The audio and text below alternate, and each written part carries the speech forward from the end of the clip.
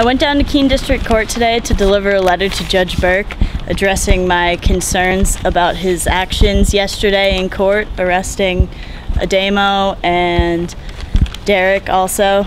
Um, but I was told that I could not deliver it to him. I could give it to the person behind the counter who would read it and then throw it away. So I would just like to share it.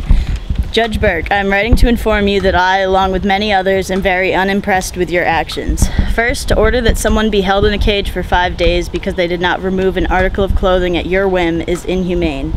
Also, the fact that you're a judge does not negate that you're an individual human being.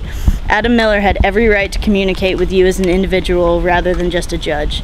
Asking you questions regarding the morals of a previous decision does not in any way justify your orders to arrest Adam and charge him with a felony. Improper influence.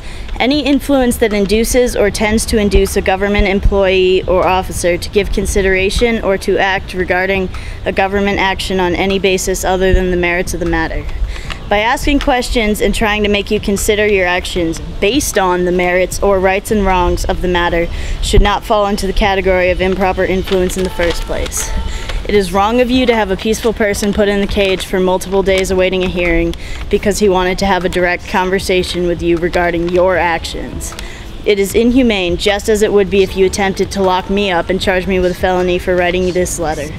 Your salary is paid through taxes, which are paid by members of the community. Therefore, members of the community have the right to express their concerns or notify you when they are dissatisfied with your actions please take the time to consider, based on the merits of the matter, that peaceful, nonviolent people are sitting in jail and wasting taxpayers' money.